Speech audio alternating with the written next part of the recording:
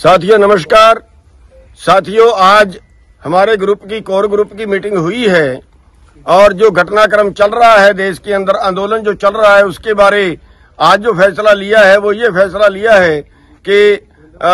S के M और non political जो दो ग्रुप अलग अलग काम कर रहे हैं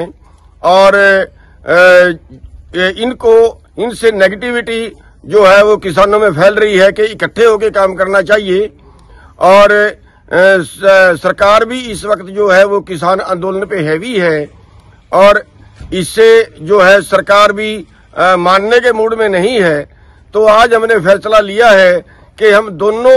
पार्टियों के आगे एसकेएम और जो नॉन पॉलिटिकल हैं, उन दोनों भाइयों से हाथ जोड़ के प्रार्थना करेंगे। हमने 11 मेंबरी टीम बना दी है, जो दोनों से संपर्क करेगी।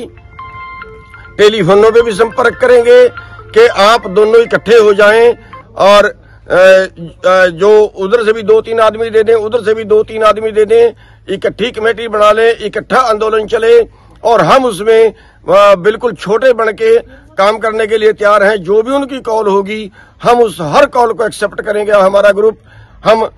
बिल्कुल मतलब जो है नम्रता से उनके आगे अपील करेंगे, और ये आज का फैसला है, और उसके आगे उम्मीद है कि दोनों हमारे भाई मानेंगे और ये आंदोलन का जो है आगे रूपरेखा बदलेगी और उसके बाद जो बाकी संगठन भी कहीं अलग अलग आंदोलन कर रहे हैं, उन सबको भी हाथ जोड़ के इकट्ठा करने की कोशिश करेंगे। और आज खेड़ी चौपटा पे भारी लाठीचार्ज हुआ है, वहाँ किसानों के ऊपर हम सरकार को चेतावनी देते हैं कि सरकार इस तरह से ना करे, अपना रवैया ठीक करे, इस तरह से अत्याचार जैसे उन्होंने खरौरी बॉर्डर पे जाके भी सिविल में भी लोग थे, पकड़ के टांगे तोड़ी है, पीट पीट के बुरा हाल कर दिया है। एक आदमी को बॉर्डर से दो किले पीछे गोली मारी है खेत में,